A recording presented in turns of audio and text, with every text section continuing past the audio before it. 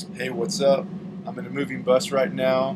We're in Florida somewhere, I think on our way to the Orlando area. We have an off day tomorrow, hoping to catch a Saw 4.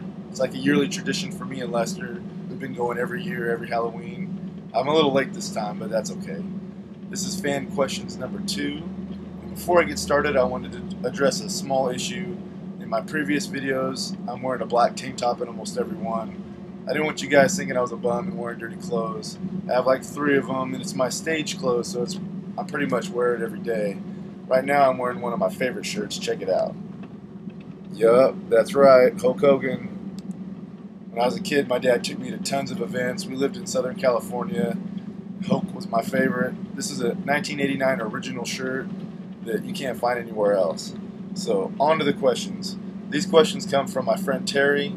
He's been a Pillar fan for a long time, and he's part of the Underground Army, which is our street team. His first question, he was wondering if we had ever met anybody that later became famous.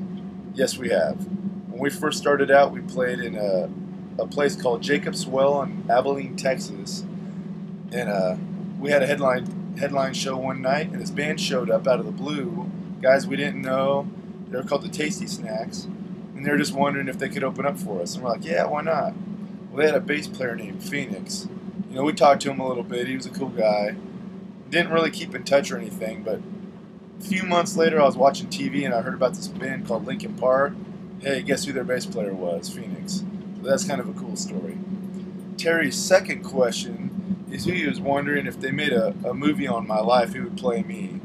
I would have to go with uh, Keanu Reeves, just because I hear I get it a lot that I kind of look like him. I don't really know if it's true, but I've had like probably 10 different people tell me that.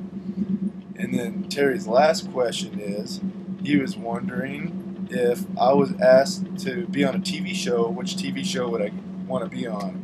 And I would want to be on Heroes because I would like to have a superpower. I remember when I was a kid, I would have these dreams that I could fly and or jump like super high, like jump miles at a time. I think I'd probably want Hiro's power though to be able to travel through time. That'd be pretty cool. So that's it for now. Keep the questions coming. More videos coming your way. Later.